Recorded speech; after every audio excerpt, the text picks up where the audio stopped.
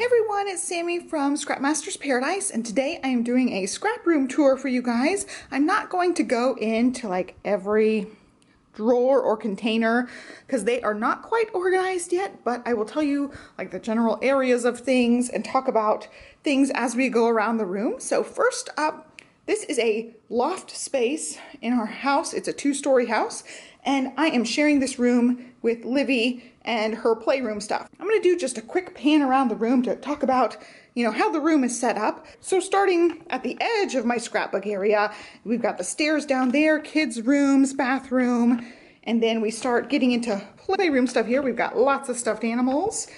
She has a little basket there that her and her daddy play with um, putting down the rail and then bringing back up. They like to play paper airplanes and maybe you can see some in the little nook thing. We get some stuck there from time to time, but that's one of their fun things they do. They play paper airplanes up and down from here and it's fun to use the basket to bring them back up.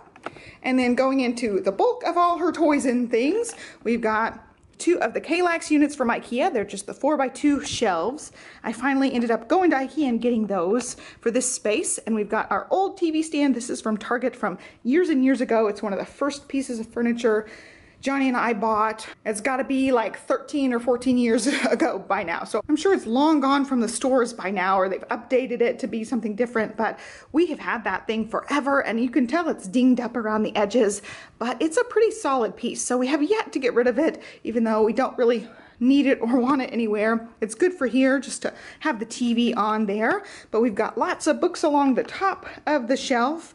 It's basically all the books that aren't currently downstairs or in her room. And then now I've been putting the baby board books in the baby's room for when she gets here as well. And then all the toys are in the blue boxes. I also picked those up at Ikea as well. They're super cheap there. They do have boxes that fit that at Target, and I've got a few of those as well, just not in this room. So they're really nice storage units. They hold a ton of stuff. They aren't all the way full yet, which is great. And then I have all her boxed things like around there as well. She's got activities that we pull out one at a time and then clean back up before we get something else out. And then that starts the edge of my scrapbook room. So I'm gonna try to back up and show you guys the whole thing in one vision here. So my desk actually goes along the entire wall and into this corner over here. It's three desktop pieces from Ikea. They are Linnmons, but they're different sizes of them. I've got the corner, the extra long one, and then the shortest one. So they're all different prices and different sizes. I'll try to link to these exact ones down below. Sometimes they don't have the shortest one in stock and they have one like next size up. So I will do my best to at least give you guys the dimensions of those, but they happen to fit this wall really, really well. I don't know, I just lucked out because you can see there's a couple of inch gap at that side, but that's it. So it really takes up this whole wall and it's so nice to have it you know, be right under these beautiful windows. We are back to a green space, so there's just trees and nature out there. I'll watch the birds fly by. It's just a beautiful little space back there. And so I've got it kind of separated out into different sections. I've got more die cutting stuff here. I've got big shot stuff. The Cameo is hooked up there.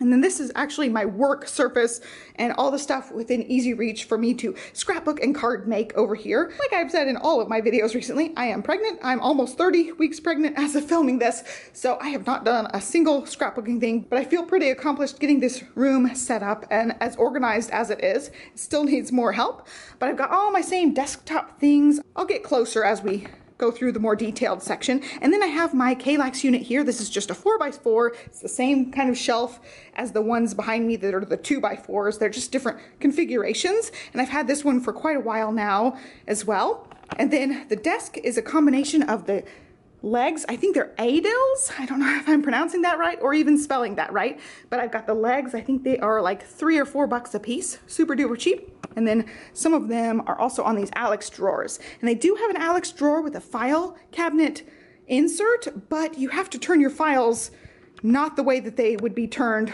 in a normal file box.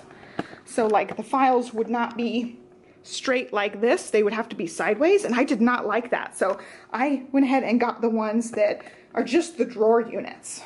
So that gives you the basic setup. I've got a lot of these like Sterilite plastic drawer units. These are just from random places in our house that we didn't need them in anymore. So I do have these organized and labeled. I'm just gonna go ahead and start over here and walk through everything and I'll walk through what's in those drawer units as we get there. I'm gonna go ahead and move this chair out of the way. We did pick up a bunch of these same chairs at Staples. I picked one up on a good price and I wanted to go get another one. They had them clearanced, so now I think we have five of these. They're just like scattered throughout the house. They're super comfortable and they have been clearanced and I don't think they make them anymore, but they're just a beautiful teal and white combo, which I really liked. And so we have them everywhere in our house now. so I have two up here, one for Liv, one for me. I moved it out so you could see the drawer unit underneath and I also have that shelf. Previously in the other house, I had that shelf hooked to my camera overhead mount and that way I could film overhead and I'll walk through my overhead mount setup that I have currently. It's different. We are renting this house, so I did not want to hang up something that had those big giant screw bolt things. So we just left it there for now. Next time we move, I definitely plan on hanging that up. I really liked it being right over my desk. It was really convenient, way more convenient than my setup now, but this is a temporary setup. So I wanted to not invest much into it. So in the unit here, I've got some diamond painting and cross stitch stuff in the top box. And then I've got extra supplies. I have an extra guillotine trimmer, extra DVD style stamp cases, extra scrubbing pads, and extra little iris containers for embellishments and things. And then the bottom is glue sticks and color swatches. I have still like Pantone color swatch books from when I ran my stamp company. I still have all those because they're expensive and I like flipping through the colors sometimes. Not gonna lie, I really like colors, so I like to come up with color combos using those as well still. And then up on the top here, I've got my big shot stuff, and I can't get closer, I'm stuck to the wall with the cord. So this is all big shot stuff. I got larger pieces on top, extra of the little cutting things, and then in here is just paper, and I pulled out a bunch of paper. I did a paper purge and I'd have like one or two sheets of certain colors and I just cut them up for Olivia so that they would work with the Big Shot. She loves playing with the Big Shot. I also had some actual files. I just cut them up as well. You can see the tabs are still on the top, but they work great for, you know, die cutting for her. And I had some scrap paper that I had between my 8 by my 8.5 by 11s. When I had my 8.5 by 11 stored in magazine files, I used these as dividers. So I just cut them down, cut the dividers off of them. And so now she has tons of paper up there. And then all of the wafer thin dies and and embossing folders and things. Some of them come in folders like this from Stampin' Up. They're just all in here random now because she comes in here and plays. So they're not all stuck to the magnet sheets or organized at all. This is just her little section. And then back here, she actually has an Easter basket, and I have these stamping images that I stamped so that I could travel and Copic color, but she has discovered she really likes these, so she will grab some of these and color them and show them off to me. Some of them are old SP & Company stamps, like that's an that's another SP & Company stamp, and then some of them are other stamp companies. It's just a giant bag of things. I grab a chunk of these and take them with me when we travel. And then she's got her die cut shapes in here until she makes things with them. She'll grab these for um, different art projects that she's doing. She'll glue them, color them, draw on them. See, she's got some drawing things in here. It's just her little creative space. And of course, I come in here and use it if I want to, but I haven't I haven't been scrapbooking, so actually she's used this area way more than I have. I've got my silhouette cameo there with just a cutting mat in case I need to do anything with that. And then I've got the drawer unit here. I have mostly planner stuff in the top sections of this. I'll show you guys. It's not been organized at all and everything got mushed around when we moved. So I haven't even like straightened it up at all. It's just shoved in here crazy like. I need to still go through all of those. So it's still a madhouse in there. I've got extra art supplies for her, like extra crayons, markers, like foam pieces and stuff. Anything we'll use for like kids arts and craft go in that top shelf. And then we've got perler beads in the bottom too. We really have gotten into perler beads lately. So we have lots of those now. And then on this side, we've got ribbon in the top, tulle and twine in the middle section, and then photos in that bottom one. I still have a ton of four by six photos and things. And I also have a box of film that needs to be developed in there as well. It's just something that we have not done. We've kept these rolls of film and I don't even know what's on them. They're from before Johnny and I even got together. I don't even know if they are still good. I don't even know if it's easy to get film developed anymore. So they've just kind of been sitting there just in case I decide one day to get those developed. I really don't know what's on them. So it's kind of like I don't want to spend the money to get them developed when it could be like 5,000 pictures of my dog. I really don't know. So anyway, moving on, here is the section. I've got my basic desktop section set up like I've had in previous houses and those are all from Target Dollar Spot years and years back before we even moved to Austin so going on three years now I picked those up and they're just like thick cardboard material with the colorful papers on the outside and they've held up pretty well they get dinged up here and there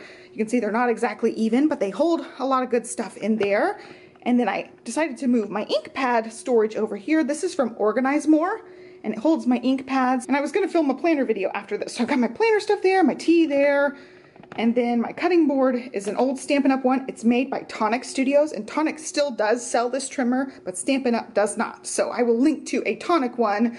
I've loved this trimmer, I've had it for years and years now, and it still works great. It's that self-sharpening kind that you never have to get new blades for. And then again, another one of the teal chairs are right here. I'm gonna move this out of the way.